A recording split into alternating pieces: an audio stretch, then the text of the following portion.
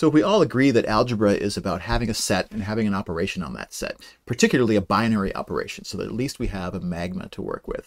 Let's return to those other ideas that you were mentioning in our initial discussion, which is things like algebra should give us a way to simplify expressions. Algebra should give us a way to solve equations. Well, if we have an operation table for a magma, we should have enough to be able to do those things, right?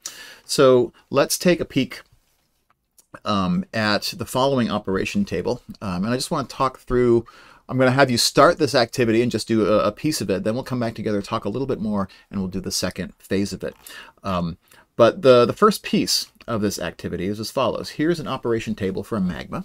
Right. The elements in my set are called A, B, and C, right? And here's the results of, of operating on those elements. Um, and what I want you to do, first of all, in your teams, just using this operation table, are these first three exercises. What is the value of C operate A? What is or are the solutions of the equation A operate X equals A? So you might have to think a little bit backwards here, where we're solving this equation for X, right? Same thing with number three. What is or are the solutions of the equation X operate C equals B? So just using this operation table to answer those first three problems uh, in your groups. And then once we've done that, we'll shift gears and talk about the next phase of it, which is to investigate some of the properties that a magma might have. All right, so there was no fooling you uh, in doing these first three. Oh, I'm muted. There's no fooling you in doing these first three questions. Um, just navigating your way around the operation table. The only first thing that we had to remember was which order this table is communicating the operation in. So we agreed uh, earlier on that if I'm looking for the result of C operate A, I'm going to look on the row that C exists and on the column that A exists. So the bottom left corner of the table. So C operate A is equal to B, according to this operation table. Um, similarly, if I want to find out A operate what is equal to A, I'm going to find A on the row and then say, where do I find the A's in the table on that same row? I find them here. And so the two solutions of the equation AX equals A are X equals A and X equals B. Right? They're the two solutions of that equation. But the equation x operates c equals b indicates I should look in the column that has c and find out how to get b in that column. But there's no place in that column that has a b. So there are no x's for which x operates c is equal to b, so this is an example of an equation that has no solution. So one of the things that we're already observing is that if I have a magma and it doesn't necessarily have a lot of friendly properties, I can have things like equations that have more than one solution. I can do things like have equations that have no solutions, right? Um, but you suspect that if we add enough algebraic properties on top of our magma, if the if that operation satisfies some nice properties, maybe we can whittle that down. Maybe we can live in a place where all of my equations are consistent. They all have a solution. And when they have a solution, they have a unique solution. So we don't get multiple solutions. And that's the situation we find ourselves in when we study group theory, for example. Um, in a group, um, every equation can be solved, every equation like this can be solved for a unique, uh, to have a unique solution. And in the operation table for a group, every element appears once and only once on its row and on its column, for example. But not every magma is a group, and not, not every magma has to be a group but which properties that we add into the mix sort of make our magmas have more interesting structure uh, on top of them. So magmas are like the Wild West in general, right? If we don't have any specific properties that we associate with the operation on our set, then we can't really do a whole lot sort of in the theoretical basis. We can draw an operation table and we can do that kind of stuff all day, but if we want to understand them at a deeper level, we probably want some additional algebraic properties. And when I say algebraic property, um, what I mean is an equation involving one or more elements of S and on which at least one of the variables in that equation is universally quantified. And all that is just a mouthful to say that it's some algebraic sentence that we want to be true for all values of at least one of its variables, right? And these are some examples of algebraic properties. But some examples of properties that we've probably heard of before uh, are the commutative property. The commutative property says that for all elements x and y, the result of x operate y has to be the same as the result of y operate x right? This is the kind of fun property that addition of integers, for example, uh, happens to satisfy, right? x plus y is the same thing as y plus x. And so if I look in an operation table for a commutative operation, I'm going to see the same result in the xy column as I see in the yx column, right? So my table should have this nice symmetry. Uh, as long as I sort of list all the elements in the row and column in the same order, I should get this nice symmetry across the diagonal in my operation table if my operation is commutative, if it satisfies the commutative property. Um, some of the properties on this list are a little bit weirder. Um, the flexible property, right, that says that if I operate x times y times x operate y, and then the result is operated by x, that I get the same thing as if I move those parentheses over, right? x operate on y and then x. This is a special case of the more general property called the associative property that says for all three elements, x, y, and z, that if I operate on all three of them consecutively, it doesn't matter if I do the first pair and then the third, or if I do the first and then the pair with the second and third. I get the same answer. Right? The, associ the associative property is the one that gets all the press, right? Because addition and multiplication, for example, of real numbers uh, satisfies the associative property. We also have these funny distributive properties. Often in algebra, we think of distributive properties in a context where we have more than one operation, like multiplication and addition. And multiplication distributes over addition, right? That's the usual way that we see it in high school algebra.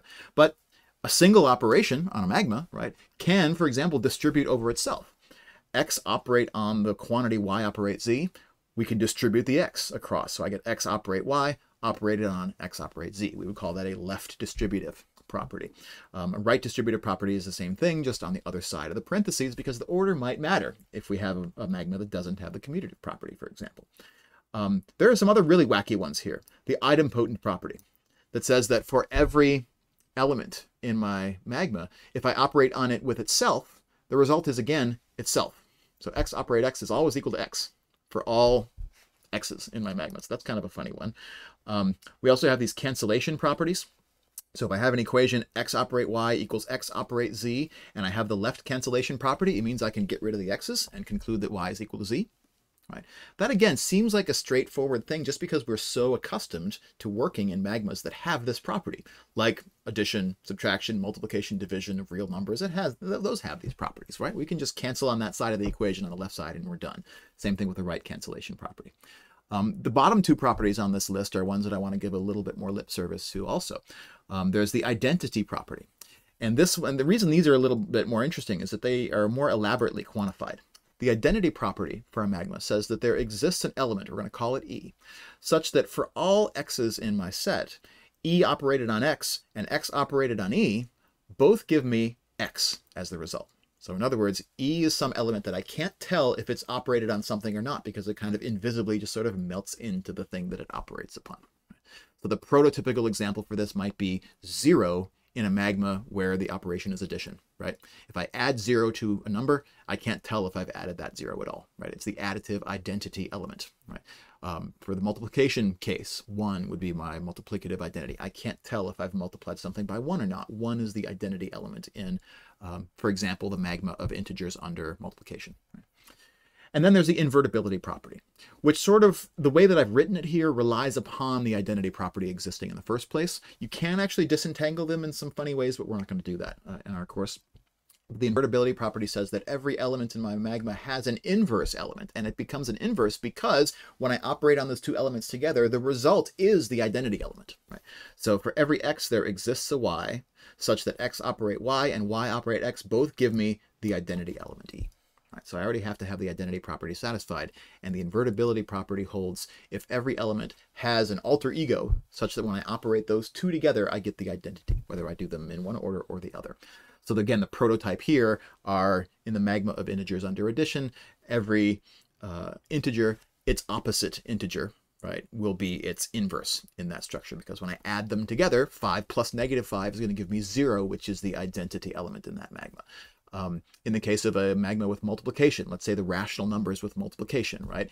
The inverse of 8 is going to be 1 eighth, right? Because when I multiply those two together, the result is 1, which is the identity element in the multiplicative magma, right? So identity and invertibility are super useful things to have because they give me kind of a way of saying there's an element that does nothing, right? There's an element that's kind of invisible, that's the identity element and that for everything that an element does, that can also be undone. That's the sort of invertibility property. If I add 5, then I also have something that I can add to undo that addition of 5. I can add negative 5, right? So everything has kind of a mirror image, an alter ego.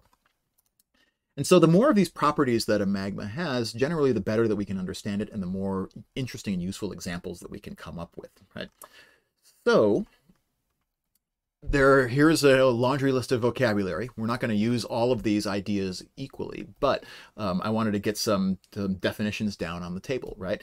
Um, because the more structure that we add, the more interesting we tend to find magmas. We also give those kinds of magmas different names.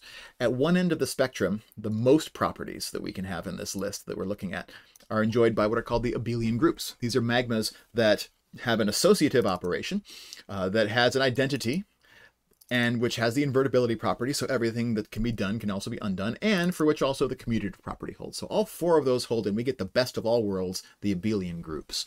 Um, we end up studying abelian groups a lot in an introductory course in abstract algebra. But we can also study groups by taking the commutativity potentially away, but keeping associativity, identity, and invertibility. Right? If we have those three things, then we're doing group theory. Um, and a lot of the really interesting groups, including the one that we're going to really specialize on in our next class, the permutation groups, um, those are not commutative, but they do still have an associative, identity, and invertible uh, operation. And it's as we start to pull those threads away that we get the less well-studied algebraic structures, the ones you probably don't meet in a typical undergraduate uh, uh, math major. So if we take away invertibility, but we keep associativity and identity, we get something called a monoid.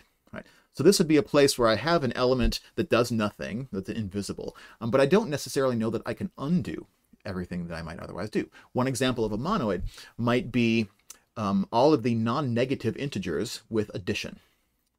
That's a, a, magma, right? If I add two non-negative integers, I'm going to get a non-negative integer. It has an associative operation because addition is associative on the integers. It has an identity, namely zero, but it doesn't have inverses, right? I have a five in that set, but I don't have anything which I can add to five that gives me zero, right? because I only have the non-negative integers. So that would be an example of a monoid. If I, instead of pulling out identity, I, I pull out invertibility, um, I get something called a a semigroup, right? It's associative, but it doesn't have an identity element and it's not invertible, right? So maybe the set of all non-zero, no, wait, set of all non-zero integers doesn't work. Um, how about the set of all positive integers, the natural numbers, one, two, three, four, and so forth. We don't have an identity element anymore, um, but the addition on the natural numbers is still an associative operation. So we have a semigroup, right? The, the natural numbers, one, two, three, four, etc., with addition would form a semigroup. If we take associativity away, now we're being really crazy, right? So we're looking at operations which for which it matters where we place the parentheses if we're doing the operation three times in a row. One example of an operation that's like that is subtraction, right? X minus Y minus Z, it matters which minus that I do first in terms of what answer that I get, right? So the integers equipped with subtraction uh, would be an example of a structure which is not associative, but it does have an identity element, zero, and it does have inverses. Let's think. If the identity is zero, because subtracting zero is the same thing as not doing anything, right? Um, actually, that would be a right identity, but not a left identity, so this gets kind of even more intricate. Um, but inverses are kind of interesting because every element would be its own inverse, right? 5 is the inverse of 5, because when I take 5 minus 5, I get 0, the identity element, at least the right identity element. Um, so that would be something called a loop or a Moufang loop. Um, if we have not a uh, not an associative property, but we do still have identity and invertibility. And if we take one of those or the other away, we can get an even more basic structure called either a unital magma, which is what happens when we know we have an identity operation, but not necessarily anything else, um, or a quasi-group, where we give up the identity, but we still have invertibility somehow, even though we haven't really talked about what that would mean. So where I want to wrap things up for today um, is to go back to this operation table that we were looking at just a minute ago um, and see if you can explain, and you want to write a couple sentences for each one of these if you can, why the operation on this, this magma operation in this operation table is a unital magma. And so if we look back here, unital means it has the identity property. The identity property means there exists an element E such that E operate X and X operate E are equal to X for all elements X right? So we're sort of going back up the terminology ladder here to figure out how we would justify this. So explain why we have a unital magma in this table, why we do not have a monoid. So what is it that fails uh, to, that, what is it that's failing in this table that shows us we're not working with a monoid? Um, and then decide with your group whether or not we have a Moufang loop. Okay. So just to get us some comfort using those terms, but then also using the operation table and the associated algebraic properties to either verify or disverify that this structure is a unital magma, a monoid, or a Moufang loop. So we can use this operation table to assess whether or not this magma is a unital magma, whether it's or not it's a monoid, and whether or not it's a Moufang loop, just by sort of taking those terms back apart to figure out which properties we're trying to talk about.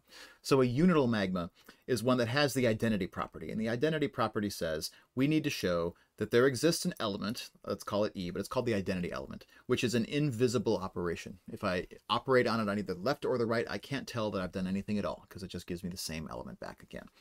Um, and so you found that this magma that's being described in this operation table is in fact a unital magma because it has an identity element. And what is the identity element in this magma? B. It's B. B times anything is going to give me that same thing. B times A gives me A, B times B is B, B times C gives me C, and the same is also true when I multiply by B on the right. A times B is A, B times B is B, C times B is C. So whether I multiply, quote unquote, by B either on the left or on the right, I can't tell that I've done anything at all.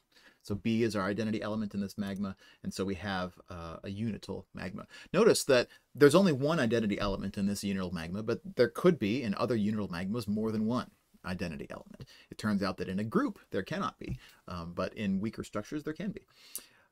But the structure is not a monoid, and going back, monoid means that we have to have identity element, which we know we have now, and we also have to have associativity. So if we're going to show that this thing is not a monoid, we should try to show that the operation is not an associative operation. And the way to do that is just to find three elements such that if I move the parentheses in that product, I get different answers. So this team, for example, found that C times C, then multiplied by A, operated on by A, gives me a different answer than if I did C times the product of C with A right? One of them gives me B, the other one gives me C, so I have a disagreement here, which gives the lie to the associative property. So since this is not an associative operation, we know that we don't, in fact, have a monoid. Now, what about a Moufang loop? A Moufang loop is one that has the identity property, which we already know, but which also has the invertibility property. And so let's look back at the invertibility property. It says that every element in my set needs to have an alter ego, an inverse element y, that has the property that when I operate in either order on X with its alter ego Y, X operate Y, Y operate X, both of those products have to return the identity element to me. So I need to be able to get to the identity by starting from any of the elements in my set, either by multiplying on the left or by multiplying on the right. When I look in my operation table, my identity element, I remind myself, is B. So the question is, can I always get to B by starting from any of my elements? Well, if I start from C, I can get to B right? So C times A is going to give me B. So A is the right inverse of C. Um, B is its own inverse, evidently. You should be able to show that, in fact, every identity element in a group is, in fact, its own inverse. Um, you can just this follows from the identity property. But A, on the other hand, has got a problem, right? Well, A actually has a left inverse because C times A gets me to the identity element. It does not have a right inverse because A times anything never gets me to the identity element. I don't have a B in that row. So since my identity doesn't appear in that first row, A does not have a double-sided inverse. Even if it does have a left inverse, its left inverse is C, because C times A gives me B. It does not have a right inverse. And the way that we've stated the identity property requires both of those left and right inverses to not only exist, they also need to agree with one another. So this is actually a very strong version of the invertibility property. It's the kind that we take for granted in a group theory course, for example. Um, so that's examples of how to use the operation table and the various properties that define these different algebraic structures to assess what's going on where.